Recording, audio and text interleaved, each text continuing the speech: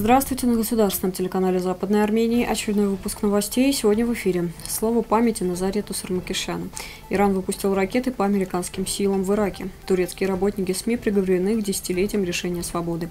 Путин прибыл в Дамаск и встретился с Асадом. Государственный симфонический оркестр начинает 2020 год с концертных туров по Европе. 31 декабря 2019 года ушел из жизни значимый национальный общественный деятель и большой патриот, отец славной родословной Назарет Сармакишян. Назарет Сармакишян, выдающийся писатель, педагог, общественный деятель, родился 6 октября 1926 года в семье Гранта Сармакишяна, ближнего родственника жертв геноцида против армян Ерванда Сармакишханяна. Грант Сармакишан родился в 1880 году в Константинополе и с самого детства ощущал ужасы насилия со стороны турецких властей против армян. Армянские расправы, организованные султаном Абдулхамидом в 1890-х годах, оставили на нем неизгладимый след. Грант был доставлен в турецкую армию с тысячами армянских молодых людей в начале Первой мировой войны. Им не только не давали оружие в турецкой армии, но и не давали униформу и даже еду. Их использовали как переносчиков боеприпасов и еды. Солдаты ели зелень. Многие просто умерли от голода и не вынесли. Грант по профессии был оловянным рабочим, и это спасло его от смерти. Турецкому командиру нужна была лампа. Грант сделал ее, за которую получил от командира две буханки хлеба. Грант раздал этот хлеб больным армянским солдатам. Турецкий командир взял Гранта с собой на фронт в Алеппо. Пробыв здесь год, ему удалось вернуться в Константинополь. Он взял с собой двух армянских сирот, переживших бойню. Поезде, отправляющемся в Константинополь, не было места, пришлось вместе с сиротами поехать на крышу одного из вагонов.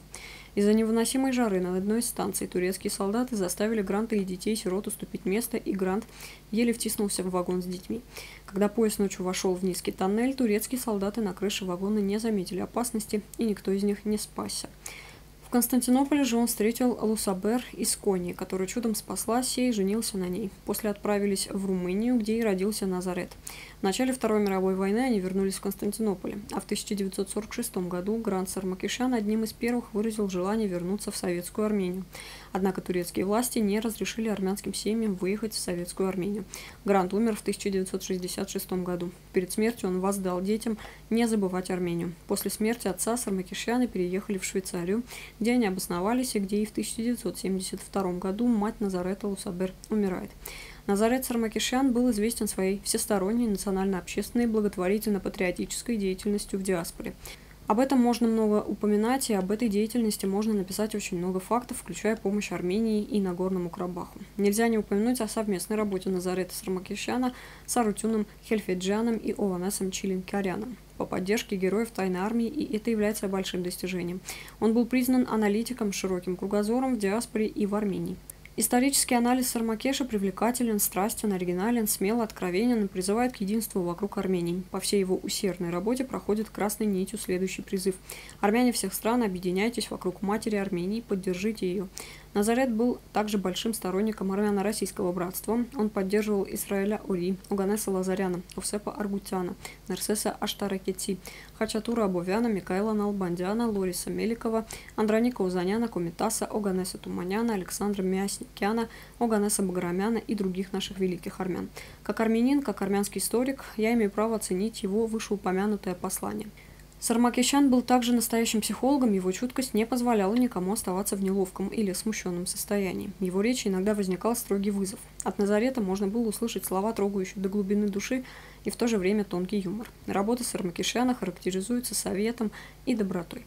Он без жалости сражался против врагов армянского народа и противников человечества в целом, поражая их своей мудростью. Несколько лет назад, во время одного из наших разговоров, Назарет Сармакишан очень обеспокоенно отметил. «Я всегда говорил, моя Армения, но сейчас я вынужден сказать, такая Армения не моя. Я много думал об этих словах, и если появляется такой вдумчивый, мудрый человек, как Назарет Сармакишан, это означает, что многое в нашей стране несовместимо с его идеями.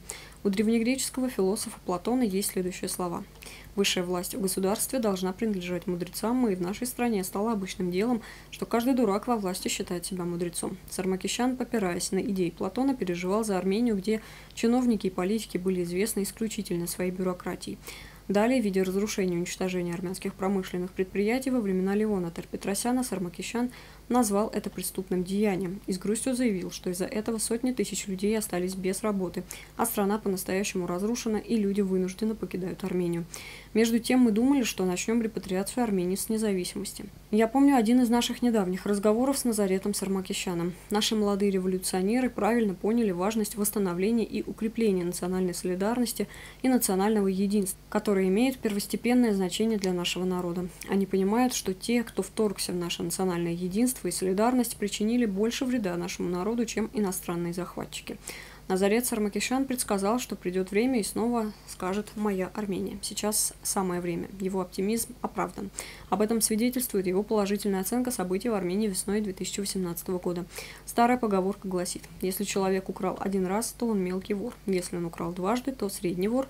Если он украл три раза, то он большой вор. Если он украл четыре раза, тогда он политолог». То же самое верно для лжи и речь Назарета Сармакишана, патриотического аналитика, отличается от речи политолога своей правдой и чистотой. По его собственным словам, он принес культуру людям, объединив всех нас со своей историей и своей совестью. Пословица гласит, когда облака накапливаются в небе, крестьянин бросается спасать урожай. Теперь, когда наша страна и мир во всем мире перетерпевают беспрецедентные изменения, которые сопровождаются различными правовыми конфликтами, когда есть силы, которые хотят накапливать грозы в небе нашей Армении, Назарет Сармакишан призвал к общенациональной консолидации и советам. Дорогие соотечественники, таким был великий патриот – наделенный философским мышлением, гуманный, добродушный, мудрый Назарет Сармакишан, очень дорогой и уважаемый для нас человек. Я преклоняюсь перед памятью моего старшего брата Назарета Сармакишана. Я желаю терпения всем членам его уважаемой семьи во главе с любимым Вартаном, и я уверен, что они с большой честью и большой ответственностью продолжат вести патриотизм и филантропию Назарета Сармакишана. Светлая память о Назарете Сармакишане навсегда останется в наших сердцах. 1 января 2020 год, Ереван, Армения. Владимир Гевур Петросян, доктор исторических наук, профессор. Несколько американских военных объектов в Иране атакованы баллистическими ракетами, выпущенными с территории Ирана. Об этом сообщила во вторник телекомпания АБС со ссылкой на источник в американской администрации. По словам источника телекомпании, в результате ракетного удара пострадал американский объект в окрестностях города Эрбиль на севере Ирака, а также авиабаза Айн-Аль-Асад на западе страны. Как сообщает агентство Reuters, США признают факт ракетных атак на несколько объектов в Ираке, включая авиабазу Айн-Аль-Асад на западе страны. По данным телеканала Пресс-ТВ, корпус стражи исламской революции КСИР элитные части ВС Ирана заявил, что ракетный удар по авиабазе Айн-Аль-Асад был нанесен в ответ на убийство генерала Касема Сулеймани. В апреле 2019 года в Турции были задержаны как минимум четверо журналистов. Журналисты были приговорены в общей сложности к 27 годам тюремного заключения. Мы записали список нарушенных прав журналистов в декабре. Вы можете прочитать полную статью на нашем сайте. Президент Российской Федерации Владимир Путин во вторник 7 января прибыл с визитом в Сирию. Российский лидер из аэропорта направился в командный пункт группировки войск Вооруженных сил Российской Федерации в Сирии, где его встретил президент Сирии Башар Асад, сообщил пресс-секретарь Путина Дмитрий Песков. Президенты выслушали доклады военных, добавил он. Затем российская и сирийская делегации провели двусторонние переговоры.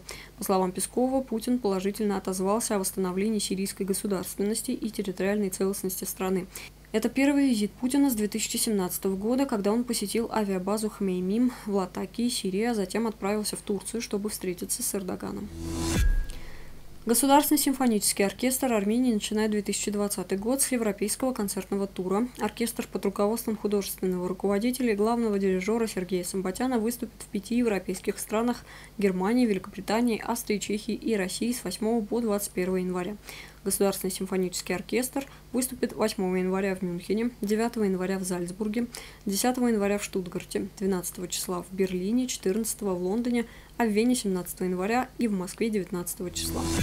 На сегодня у нас все. Далее мы представим вашему вниманию песню «Орёр» в исполнении Асмик Попян.